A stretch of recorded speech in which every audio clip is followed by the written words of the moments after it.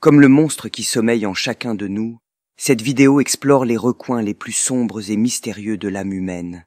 En tant que spectateur éclairé, peu importe la forme que prend votre soutien, chaque expression compte. Abonnez-vous à Mangalfa, où chaque vidéo dévoile les nuances les plus sombres de notre existence. Introduction au plus fascinant des antagonistes. Dans le monde captivant des mangas, il existe une multitude de personnages antagonistes qui ont marqué les esprits. Toutefois, l'un d'entre eux se démarque nettement par sa profondeur et son mystère. Yuan Libert, le personnage central du chef-d'œuvre de Naoki Urasawa, Monster. Le manga Monster débute dans le chaos post-guerre froide de l'Allemagne, tissant un récit sombre et complexe qui soulève des questions sur la nature humaine, l'éthique médicale et la dualité du bien et du mal. Au cœur de cette toile d'araignée narrative se trouve Johann Libert, un jeune homme à l'apparence angélique, mais dont les actions et les intentions sont loin d'être célestes. Dès son introduction, Johann est un paradoxe incarné. Sauvé enfant par le docteur Kenzo Tenma, après une mystérieuse blessure par balle à la tête, il devient indirectement la raison d'être du protagoniste. Le docteur Tenma, ayant choisi de sauver Johan au lieu d'une autre vie, se retrouve pris dans une spirale d'événements tragiques, tous orchestrés par ce patient qui l'a sauvé. Johan, pourtant, n'est pas le stéréotype du méchant classique. Il est intelligent, charismatique et possède un sens aigu de la manipulation psychologique. Les rares moments où il dévoile des fragments de son passé, comme avec sa sœur jumelle Anna, offrent une perspective troublante sur la formation de sa psyché. Dans Monster, chaque élément du passé de Johan est comme un puzzle, allant des orphelinats secrets à la propagande politique de l'Allemagne de l'Est. Ces indices éparpillés accentuent le mystère entourant ce personnage. Qui est vraiment Johann Libert Est-il le monstre que le titre suggère ou est-il simplement le produit de circonstances tragiques et d'expériences traumatisantes? La complexité de Johann offre un reflet troublant de la condition humaine, rendant Monster non seulement une œuvre remarquable, mais aussi une introspection profonde sur l'essence de l'humanité. Profondeur psychologique de Johann Libert. Un abîme insondable. Le manga, par essence, est un médium narratif qui permet une exploration minutieuse des profondeurs de l'âme humaine. Johann Libert, antagoniste principal de Monster, est le parangon de cette exploration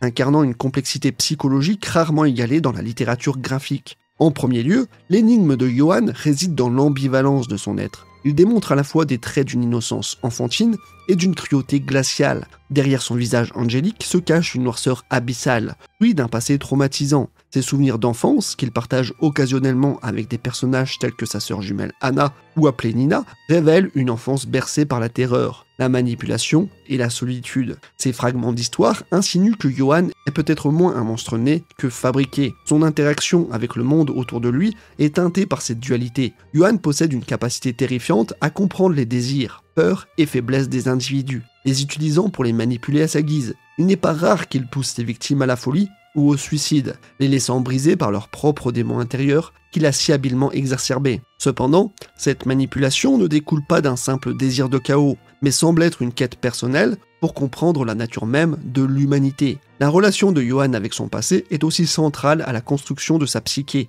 Les souvenirs fragmentés de Saint-Saëns Kinderheim, un orphelinat où les enfants étaient conditionnés pour devenir des armes politiques pour l'Allemagne de l'Est, mettent en lumière les atrocités qu'il a subies. Ces traumatismes combiné à la philosophie nihiliste qu'il semble avoir adoptée, ont de lui une force implacable, conduite non par la haine, mais par une curiosité morbide sur les limites de l'âme humaine. En somme, chaque action, chaque choix, chaque mot prononcé par ce personnage est un témoignage de la fragilité et de la complexité de l'esprit humain, faisant de lui l'une des figures les plus mémorables du manga game. Charisme et présence scénique. Une ombre dominante. Dans l'univers foisonnant des mangas, peu d'antagonistes réussissent à imprégner chaque page de leur aura aussi efficacement que Johan. Sa présence dans Monster transcende la simple notion d'un méchant. Il est une force omniprésente, une ombre qui plane constamment, même lorsqu'il n'est pas directement visible à l'écran. Son charisme est palpable dès sa première apparition. Doté d'une beauté presque surnaturelle, Yuan possède une grâce et une élégance qui contrastent brutalement avec la noirceur de ses intentions. Ce contraste crée une tension narrative, capturant l'attention du lecteur et du spectateur. Chaque sourire, chaque regard est empreint d'une énigme, incitant à se questionner sur ses véritables motivations. Mais au-delà de sa simple apparence, c'est sa maîtrise de la parole qui élève Yuan au rang d'icône. Il manipule les mots avec une dextérité redoutable, influençant persuadant et séduisant ceux qui croisent sa route. Des personnages tels que le Dr Enma, et l'inspecteur Runge sont constamment en proie à ses manipulations, oscillant entre fascination et horreur face à lui. Ce n'est pas seulement sa capacité à contrôler les individus qui est impressionnante, mais également la manière dont il orchestre les événements à grande échelle. Yuan, tel un marionnettiste, tire les ficelles en coulisses, façonnant le récit de Monster à sa guise. Sa capacité à disparaître, puis réapparaître au moment opportun, renforce cette impression d'une présence toujours imminente. Voici quelques exemples marquants de ces manipulations.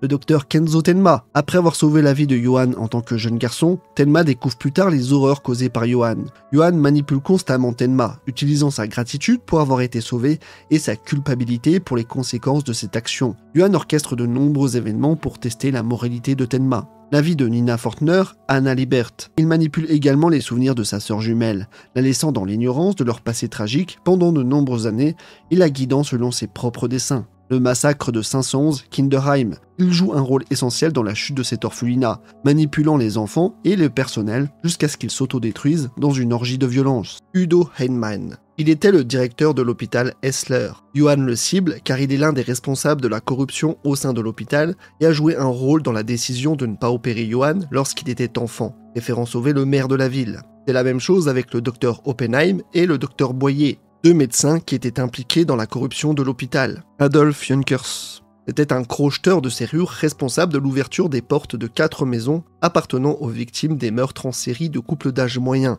Johan avait engagé Junkers et ses amis pour ces meurtres-là. C'est pourquoi il a décidé de le tuer afin de supprimer toute trace de son implication dans les meurtres et d'éliminer un témoin potentiel. Reinhard Biermann, il était l'ancien directeur de 511. Johan l'a tué car il détenait des informations précieuses sur les expériences de 511, en particulier des données de recherche sur Johan lui-même. Richard Braun. Dans le passé, Richard avait tué un tueur en série nommé Stefan Hughes lors d'une confrontation. Bien que Hughes ait pointé une arme sur lui, Richard a été expulsé de la police car Hughes était mineur. Cet incident a profondément traumatisé Richard, le conduisant à des séances de thérapie et à des problèmes d'alcoolisme. Johan, connaissant la culpabilité et le traumatisme de Richard, l'a manipulé en jouant sur ses sentiments de culpabilité concernant la mort de Juice. Il a ainsi conduit Richard à croire que son jugement n'était pas altéré par l'alcool lorsqu'il a tué Juice, amplifiant ainsi sa culpabilité. Sous l'influence de Johan et submergé par la culpabilité, Richard s'est suicidé en sautant d'un bâtiment après que Johan lui ait donné une bouteille d'alcool, maquillant ainsi ce meurtre en un accident.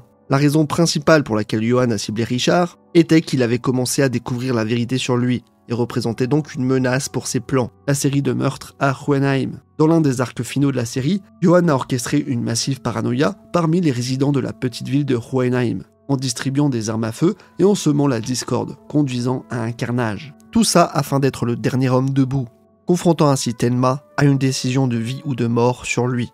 Et bien sûr, ce n'est pas tout. Johan a manipulé des tas de personnes et de situations, mais ce serait trop long de tous les référencer. Thèmes universels. L'éternel combat entre bien et mal. L'un des aspects les plus fascinants de Monster réside dans sa capacité à aborder des thèmes universels avec une profondeur rarement atteinte. Johan, en tant qu'antagoniste central, devient l'incarnation de ces thèmes, brouillant les frontières entre bien et mal, humanité et monstruosité. À première vue, Yuan semble représenter le mal absolu. Ses actions et manipulations sont souvent dénuées de toute morale apparente, le positionnant comme un monstre aux yeux du monde.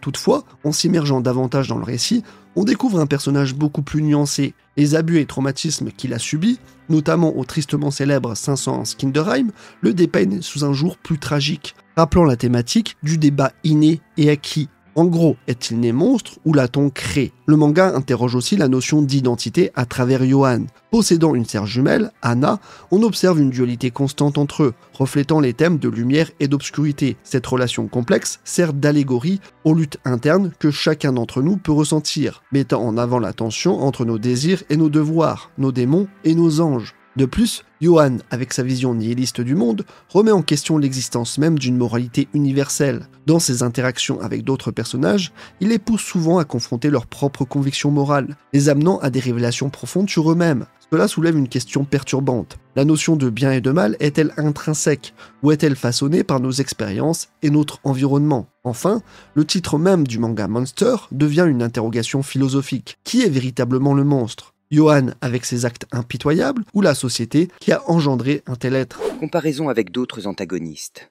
L'incomparable Johan. Le monde des mangas regorge d'antagonistes au caractère unique et mémorable, des figures telles que Light Yagami de Death Note ou Hisoka de Hunter x Hunter ont laissé une empreinte indélébile sur les fans. Toutefois, en juxtaposant Johann Libert à ces géants, on perçoit sa singularité et sa suprématie dans le panthéon des méchants. Premièrement, la plupart des antagonistes dans les mangas possèdent une ambition ou un désir clair, qu'il s'agisse de pouvoir, de vengeance ou d'auto-préservation.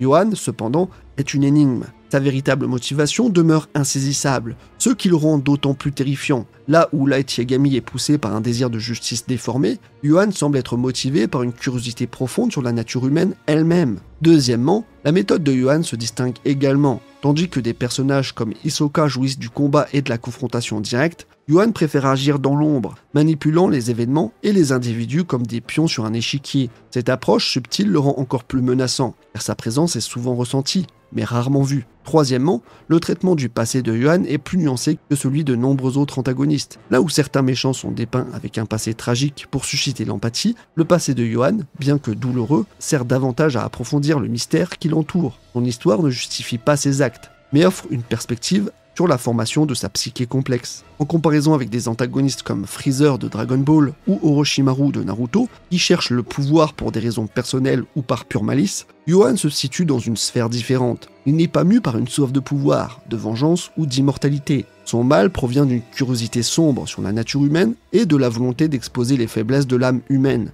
Un autre contraste frappant peut être établi avec Griffith de Berserk, si Griffith trahit ses camarades pour ses ambitions et devient un être démoniaque en quête de pouvoir, Johan, bien que similaire en termes de charisme et d'influence, agit sans un désir palpable de contrôle ou de suprématie. Sa terreur est plus subtile, plus psychologique. Ce qui distingue véritablement Johan des autres méchants du manga, c'est l'absence de binarité simple dans sa représentation. Là où de nombreux antagonistes peuvent être catégorisés comme mauvais avec des motivations claires, Johan flotte dans une zone grise. Il incarne la vraie horreur de l'ambiguïté morale, de la dualité humaine et de la potentialité du mal en chacun de nous.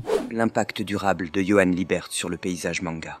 Ainsi, Johan, au-delà de sa complexité intrinsèque, a redéfini les attentes des lecteurs en matière d'antagoniste, son influence s'étend bien au-delà de Monster, laissant un héritage durable dans le paysage manga. Alors que d'autres personnages peuvent être définis par leur action ou motivation, Johan se distingue par l'aura d'inquiétante étrangeté qu'il dégage, élevant chaque scène où il apparaît. La magie de son personnage repose sur l'inconfort qu'il génère chez le lecteur, le poussant à questionner, à réfléchir, à douter. Il n'est pas simplement un personnage, mais une expérience, une sensation qui reste longtemps après avoir tourné la dernière page ou vu la dernière scène. Son influence est telle que de futurs mangaka écrivains ont cherché à créer des antagonistes mémorables, nous tournant inévitablement vers Johan comme référence ultime. Sa marque indélébile sur le genre garantit que son héritage perdurera, faisant de lui un pilier immuable dans le panthéon des grands personnages de manga. Français et l'anglais. Brillant comme il était, il a appris en un rien de temps. Peu de temps avant sa disparition, il maîtrisait parfaitement les deux langues. Le gars, le garçon, je devrais dire, quand il a fondé cet extraordinaire montage financier que personne ne soupçonnait, il n'avait pas plus de 15 ans. Est-ce que vous pouvez voir ce qu'il y a au fond de mes yeux? L'enfer dans ses yeux. Il y avait l'enfer. J'ai vu l'enfer au fond des yeux d'un homme. Je ne suis pas dupe de qui il est et de ce qu'il désire au fond. Il essaie d'être celui que je voulais devenir, c'est tout. Qui pourra devenir un tel monstre Je pose la question en connaissance de cause. Qui est comparable à la bête et qui peut la combattre? Qui peut battre la bête? Vous connaissez ça, docteur? Je suis Johann Liebert. Qui suis-je? J'étais ici. Et pourtant, je n'existe pas. C'est dans la mort qu'on est égaux. Pas dans la vie. Je pensais être allé au plus profond des ténèbres, ne pas pouvoir aller plus bas. Cependant, ce que j'ai vu au-delà était une obscurité encore plus sombre que la pire des ténèbres. De deux choses l'une, soit vous refoulez les souvenirs, soit vous trouvez que le mensonge vous sauve la mise. Alors ce mensonge, est-ce qu'il vous disculpe uniquement aux yeux des autres ou est-ce qu'il vous absout à vos propres yeux? À présent, je vous laisse choisir le prochain méchant à traiter. Aizen Sosuke, Madara Uchiha, Dio Brando ou bien Griffith. Pourquoi pas Meruem ou Vicious également? Shogo Makishima ou Moriarty ne sont pas mal non plus, cela dit.